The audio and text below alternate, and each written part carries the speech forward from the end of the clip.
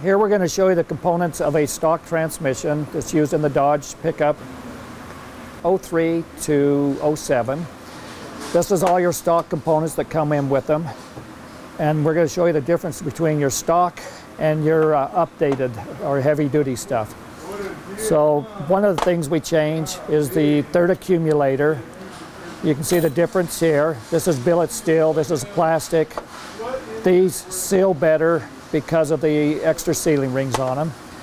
Then on your input, your friction plates, your stock ones are high energy or a paper lining, where the heavy duty or upgraded are a red plate. On uh, all the clutch packs, we do that. The stock are these. Your upgraded are a red, which is a higher quality plate that take the heat a lot better. The difference on the shafts that we change, the input shaft, your stock is just a regular steel where you have your uh, upgraded, which is a billet steel, which is a harder steel, less prone for breakage.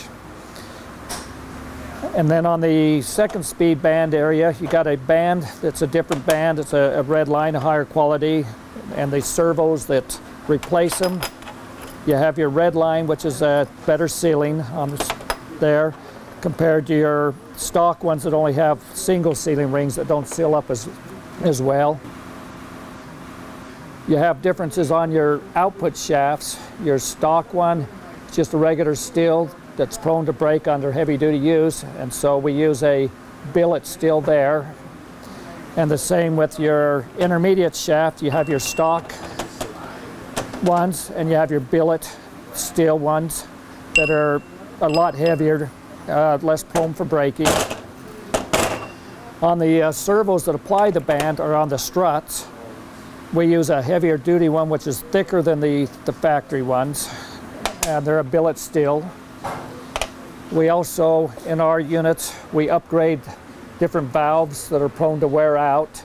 You have your uh, pressure regulator valve, manual valve, and uh, throttle valves that have been upgraded to a steel instead of the plastic like they use from the factory.